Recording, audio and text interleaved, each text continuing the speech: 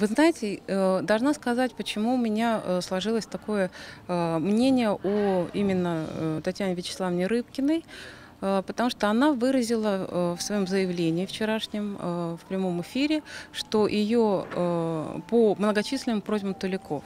Со своей стороны хочу сказать, что со многими людьми, с которыми я разговаривала, э, у меня сложилось впечатление, что есть интерес зрительский. И этот интерес, он оправдан тем, что людям э, любопытно, людям интересно, людям хочется увидеть что-то новое. Поэтому сказать, что весь город восстал против нас, у меня таких оснований нет. То есть ту отрицательную энергию, которую и ту отрицательную реакцию, которую мы увидели, это было исключительно со стороны чиновников. Зрители к нам не приходили. Э, Вот в наш цирк, вот на мое имя, на имя руководителя программы э, писем никаких не поступало. Поэтому говорить о том, что тулики как-то отрицательно к этому относились, я бы это не сказала. Представление готово к выпуску. 23 э, июня мы даем э, генеральный прогон с участием прессы и телевидения.